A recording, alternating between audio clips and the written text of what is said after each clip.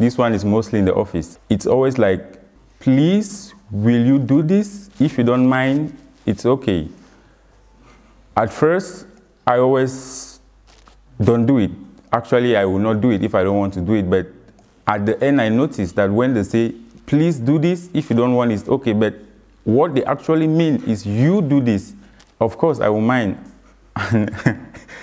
yeah, it's uh, even in the bus, uh, he just sits at you, he's just staring at you like a book, or she's staring at you like a TV, just to say hi, hello. Oh God, she's not even going to look look at you. So why is this guy telling me hello? Do I know him somewhere? There's no need for you to waste the, the least of your energy to say good morning. Uh, you just waste your time. You don't know, if you don't know somebody, just pass. Yeah, yeah, it will be the best for you. I have to play music loud, but I was being restricted from it. I was just in my room keeping just, I can't even talk or play music.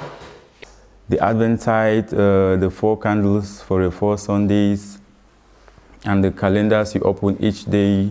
She was like, yeah, every morning you open a card from the first Advent day, the second morning you open. And I'm like, yeah, I open, then what? She's like, yeah, it's a surprise.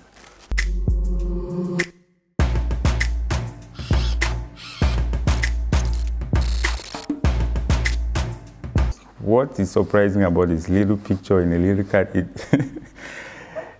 yeah,